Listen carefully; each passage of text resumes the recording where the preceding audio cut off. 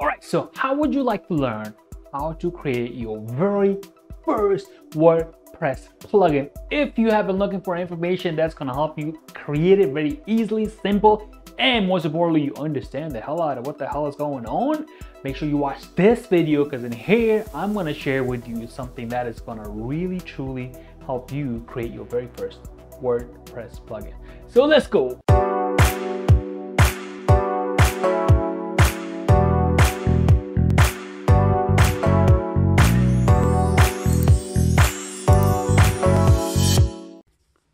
Okay, welcome to this training video series. And here I'm going to teach you how to create a WordPress plugins. We're going to be looking at two different WordPress plugins. One of them is just going to be plain Jane. This says hello world. And another one is going to be our video player in which a user can type in a URL and then we will take that URL and display it in a video player format. Uh, hope you're excited because I'm super excited about it. I cannot wait for you to start to apply some of the knowledge you're going to learn here in your own WordPress development. Because when you have gained the skills after you go through this process, you're going to be easily creating an amazing and very productive uh, WordPress plugins for your client who's going to be paying you money. So let's get started. Alright, so let's go over some of the files that we are going to be utilizing for this particular WordPress plugin, which is going to be Hello World. So what I did was I navigated down to the WordPress plugin directory. So if you go to your home page of your WordPress install, you go to WP content and then plugins, and this is where all your plugins will be here.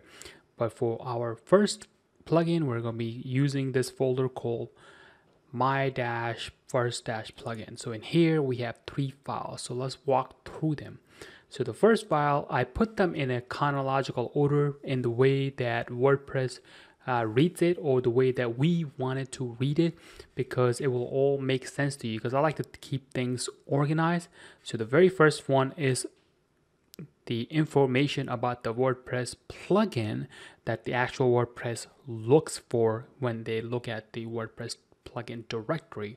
And then the other two files are something that the plugin will utilize for its process. So I'm to open up the WordPress plugin file and let's walk through this. Let me zoom this in for you. So when you are creating your WordPress plugin, I just named it to be this in a chronological order, so 01, 02, 03.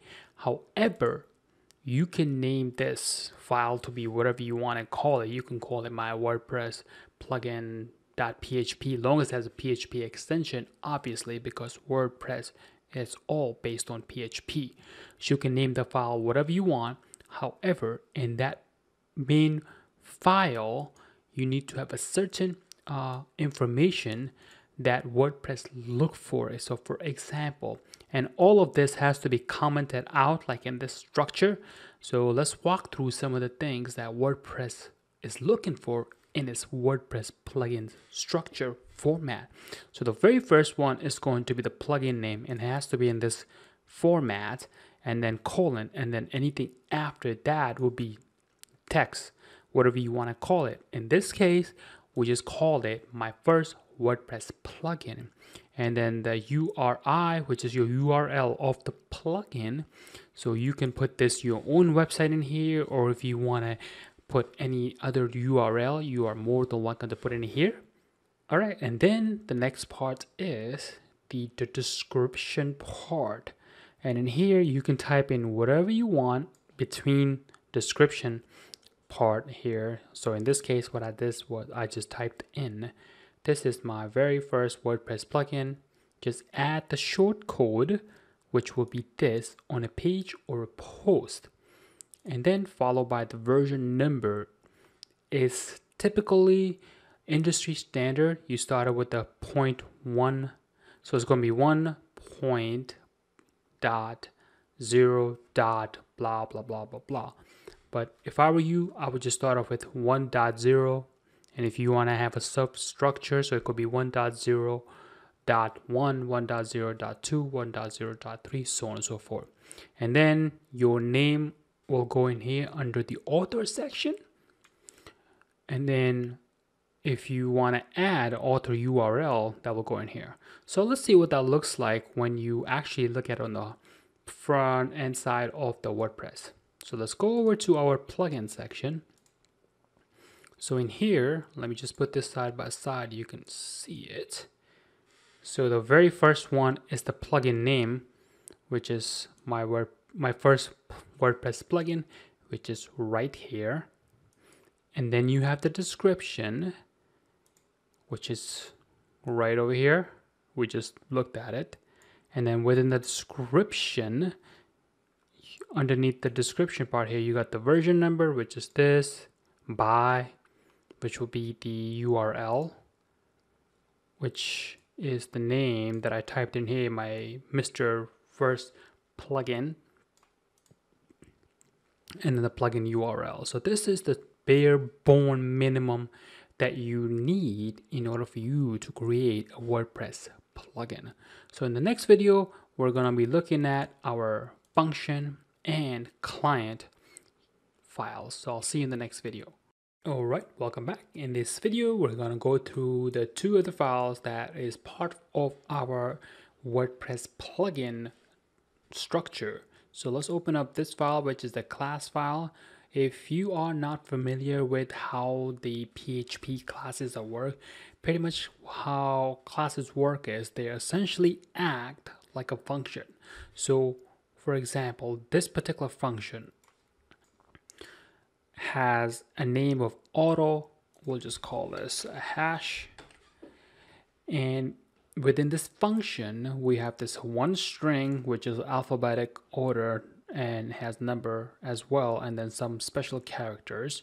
And then within this alphabetic thing what it does it combines this string and this string. And then also it puts it in front of it here and then this one is just making it random. Time and then micro time and unique time. Basically the whole point of this particular function is to generate a random string of code and that's all that it it is intended for. And after it has created and it uses a, a function called hash within the php environment which is available and then all it's going to do is return it. And then the way that PHP classes work is you call this class and then within this class you call this function and that's what we're going to look at next. So let me save this up. I'm going to copy this and let's go over to our third file which is which is the client file. So in here what we want to do is so our name of the class is my first plugin.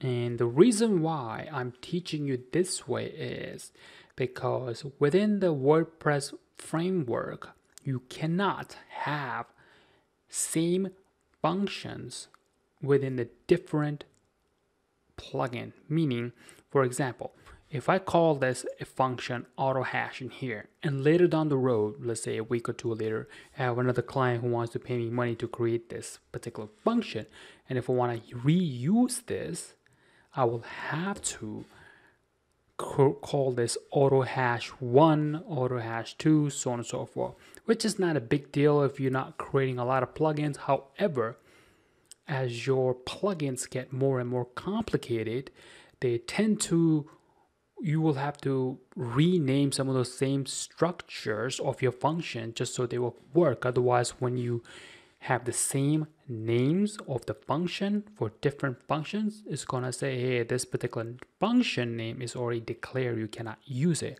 So, long story short, in order for you to use the same function name, you just wrap it around a class and then you basically change the name of this class and anything within it, it can remain the same and you can utilize the same functions like no problem. And that's one of the hacks that I have figured out where I can use the same function name and just wrap it in the, dump it in the class and um, life is good. So I don't have to change it. So in order for you to use this class, basically you just take the name and you just put it in here and then you put new in front of it and open close parenthesis. That's all. That's how you call a class. But before we even get to this, let's go to one step further or backward. There is a function within the WordPress plugin uh, structure. It is called add underscore shortcode. And basically what that does is it will take two parameters. It will take the shortcode that you want to utilize and then the name of the function that it will process the information in. So going back to our info plugin part of the file, we have said within this plugin, we're gonna use this shortcode. And the way that you use shortcode is it starts with open bracket and whatever name string that you want to put in here, and then close it by close bracket. That's all. So we are saying use this shortcode within this and go to our client side and then we're going to dump it here. So anytime that particular shortcode is added anywhere on your WordPress site, this function will fire off. That's all it's designed to do. And that is determined by this particular line of code. So let's walk through the function now. So as I was saying before, the my first plugin class which is right here.